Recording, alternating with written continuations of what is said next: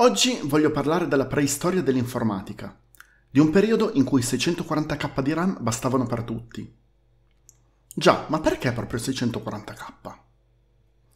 Prima di continuare ti ricordo che faccio video dove parlo di Linux, di programmazione e di retrocomputing. Se questi argomenti ti interessano, iscriviti al mio canale, attiva la campanella, commenta e metti un like a questo video.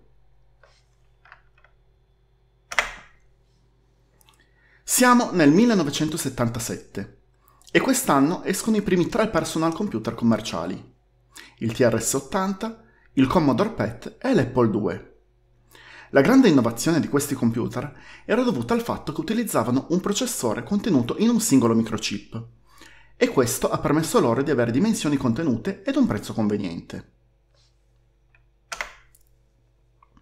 L'IBM nel frattempo era leader del mercato dei mainframe quello che vedi accanto alla signora dell'immagine non è un mobile, ma il computer. L'IBM, dicevo, vede questi microcomputer come dei giocattoli e niente di più, convinta che le aziende continueranno ad utilizzare i loro mainframe. E infatti le aziende, ma anche gli utenti casalinghi, hanno iniziato a comprare ed utilizzare i personal computer, molto più agili e a buon mercato dei mastodonti dell'IBM. Nel 1980, finalmente, l'IBM si è resa conto dell'errore che ha fatto a sottovalutare i microcomputer e si è messa a fare una cosa totalmente in antitesi con la sua filosofia aziendale. Mentre fino ad allora ogni computer venduto da IBM era stato progettato internamente, utilizzando componenti progettati internamente e con software scritto internamente, se avesse progettato un personal computer seguendo questa metodologia sarebbe uscita sul mercato troppo tardi, la concorrenza infatti non stava mica a guardare, ma uscivano rapidamente nuovi modelli di personal computer sempre più performanti. La IBM ha deciso invece di progettare un personal computer utilizzando componenti di terze parti già disponibili, come il microprocessore Intel 8088 ed anche software di terze parti che sarebbero potuti essere adattati velocemente a questa nuova architettura, come il DOS di Microsoft. Questa scelta permise a IBM di uscire sul mercato in tempi rapidi, vendendo il primo PC nel 1981. Il successo di questa macchina fu strepitoso. La scelta di utilizzare un'architettura aperta, con hardware e software già disponibili, si rivelò per un'arma a doppio taglio per IBM, perché nessuno impediva a qualsiasi altra azienda di fare un personal computer compatibile IBM. E subito il termine PC è diventato sinonimo di personal computer compatibile IBM. E questa è una lezione che ho dovuto imparare a caro prezzo pure la Olivetti qui in Italia. Infatti, nel 1982 esce il computer Olivetti M20, che avrebbe dovuto far concorrenza a IBM, ma la Olivetti ha fatto due grossi errori.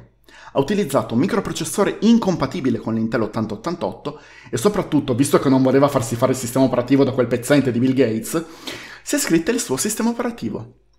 Questi due fattori hanno fatto sì che benché a livello di prestazioni l'M20 fosse comparabile o addirittura superiore al PC IBM, il fatto di non esserne compatibile e quindi non poter utilizzare i programmi scritti per PC IBM hanno reso questo computer un flop colossale.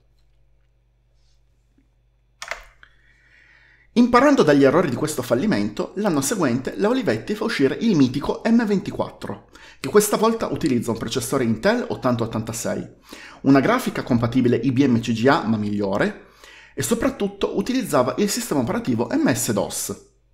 Qui finalmente la Olivetti si trova in mano un personal computer non solo tecnicamente superiore a IBM, ma anche compatibile con esso. Questa volta il computer è un enorme successo, non solo qui in Italia, ma anche negli Stati Uniti dove è stato venduto col nome di ATT 6300. La morale di tutta questa storia è che il punto di forza dei personal computer, in particolar modo dell'architettura x86 di Intel e dei sistemi operativi Microsoft, sta nella compatibilità da un modello di microprocessore a quello successivo e da una versione di sistema operativo a quella successiva. E questo è vero ancora oggi.